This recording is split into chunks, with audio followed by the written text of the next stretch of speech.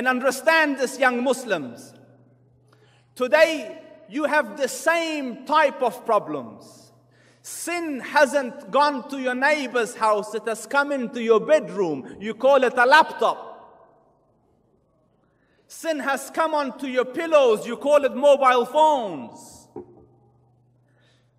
You sit there watching TV till you feel like you're vomiting, so you go, oh, khalas. You know, click.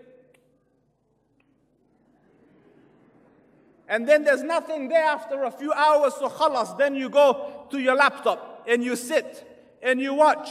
Halal and haram, may Allah Rabbul guide you to halal. Then when you're nothing is left and you're on the pillow, you're still playing with your little phone. Sin has come into your bedrooms. Sin has become pervasive and invasive and engulfing and all overtaking. And this time, watch two things. Watch falling for the sin, especially in seclusion. Listen to this hadith.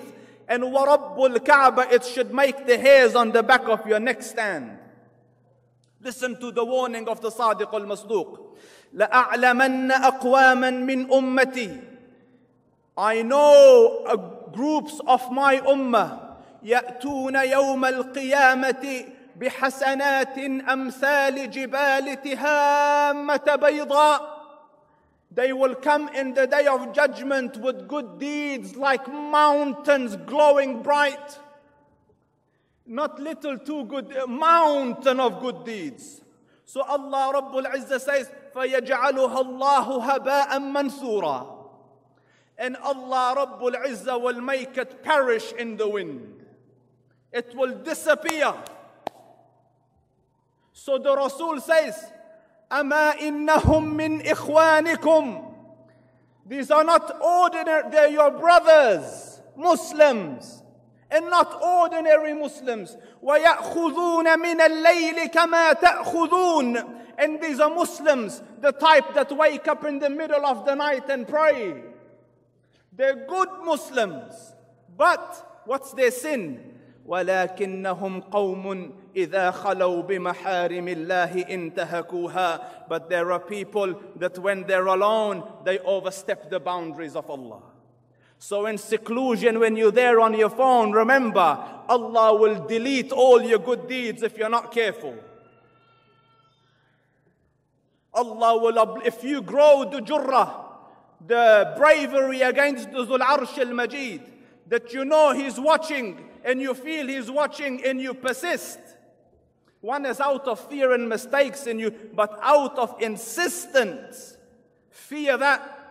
And second, bushara. For those of you that have the capacity and ability to hold back from the haram, listen to the glad tidings. The Prophet, and I will end with this hadith.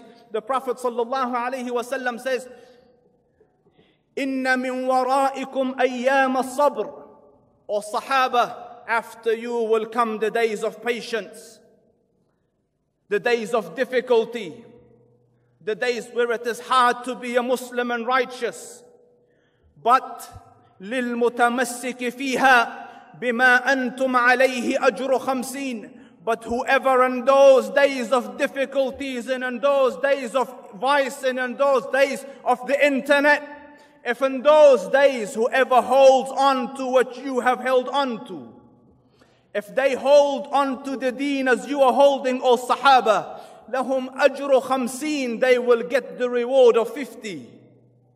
So they said, Ya Rasulullah, khamseen minna am minhum, the reward of 50 of us or 50 of them. So the Rasul said, bal minkum, no, 50 of you, my Sahaba.